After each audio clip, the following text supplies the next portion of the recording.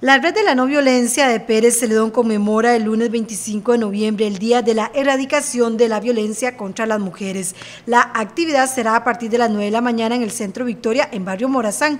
Para este día esperan la participación de unas 150 mujeres quienes forman parte de diferentes organizaciones del cantón. También se aprovechará para elaborar un diagnóstico de la situación de las mujeres. De esta manera conocer las necesidades que tienen los grupos. Eh, ya tenemos la planificación de esa actividad, si Dios lo permite, va a ser en Morazán, en los ministerios Casa del Banquete, en, Morazán.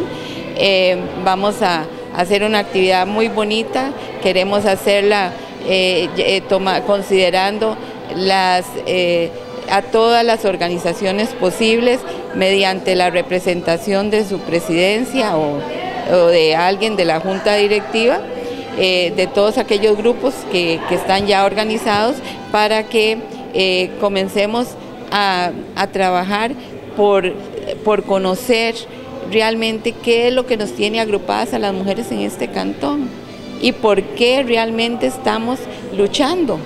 Estamos luchando por una mejor eh, estabilidad económica, estamos luchando por realmente por un desarrollo educativo, estamos eh, luchando por una eh, familia más feliz.